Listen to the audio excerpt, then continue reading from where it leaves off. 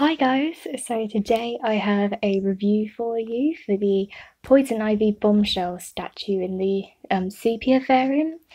So yeah, they brought out the original one. The original one basically is the same but um, more prominent colours, vibrant, you know, the bright green skin, etc. And then they brought out this one. Just realised there's a bit missing. right, so for this statue, I actually prefer this one actually compared to the original. I know some people are saying if you can get the original, get this one. I kind of like this one because I kind of feel it suits the bombshell theme, if that makes sense. Like it's kind of um, vintage looking. It's got muted colours. Obviously, I think it looks um, very kind of classic and classy in that sense. So yeah, so jumping straight into it.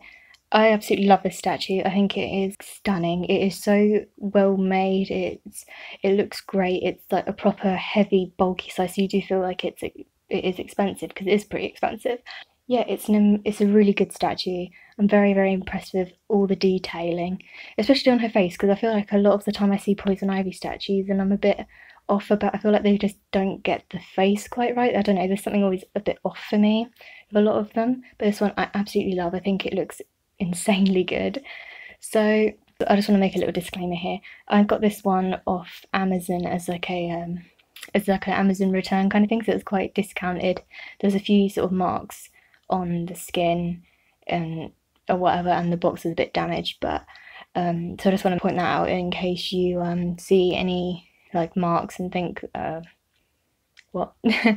yeah. So that's that was um, it's it was a pre-owned one. Yeah. So going straight into it, I'm gonna go bring the face a little bit closer. So if you can see, I think the detailing is really, really pretty. I think I just feel like the video doesn't do it justice. It's just, I think it looks insane. I'll, I'll put more photos in, etc. that will be a bit better quality and whatnot. But it's very well detailed. I love sort of like the rose going on. I love the, the um, butterfly on her elbow with the tattoos. I think it all looks really, really pretty. So, and again, like with the clothing, you know, it looks great. There's no way to like deny it. And I love the little um feature here, the poison ivy little um plaque, if you will.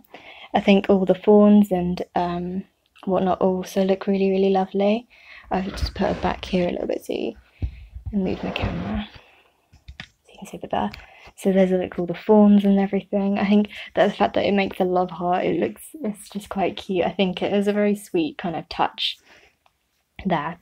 Um, as for the box, I do have the box, but I actually did try filming this video before, but it didn't come out too great. So the box is, um, unfortunately, I put the box in the loft now. So, but the, as I say, the box was second hand, so I don't think it would have been a very fair um, kind of comparison but I th- but the box detailing is also very very pretty, very classic, um, and whatnot compared to the statue.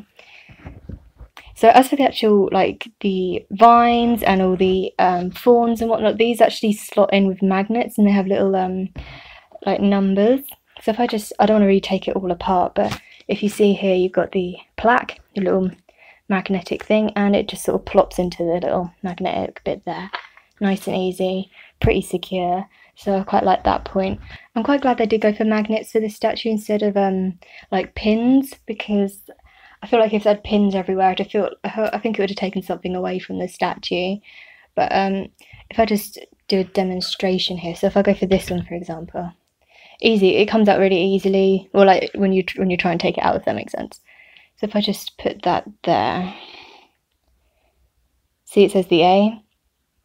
And then on the statue, I don't know if you'll be able to see it at all, but there is like a corresponding A in the in the slot. So it's very easy to assemble in that respect. So you can just easily fit them back into place and they, they stay in really well. Um, I love this statue. I think it's actually my favourite Poison Ivy statue.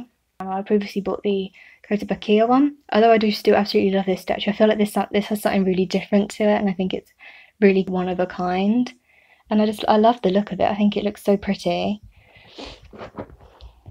I think I love how her um her hands are also like buried in her hair. I think every aspect of this statue is just really good, and I think they did such a good job with the um, bombshell theme for Poison Ivy actually.